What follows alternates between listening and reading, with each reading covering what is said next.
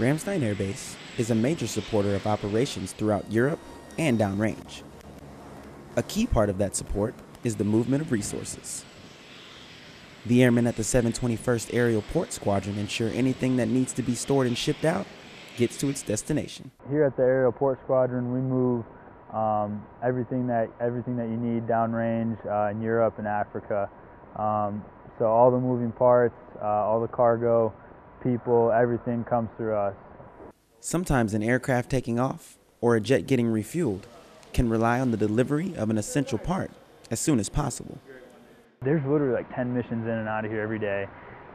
Thousands of pieces of cargo, all with different priorities, you know, and then all of a sudden a mission a mission uh, slips because of maintenance or weather. It's like, well, this piece has to get there. What what else can I do to get it there? But it works, and the 721st does a great job. I mean, they're um, you know the best of the best. Keeping planes loaded and shipments flowing is a key part of keeping Ramstein's mission going.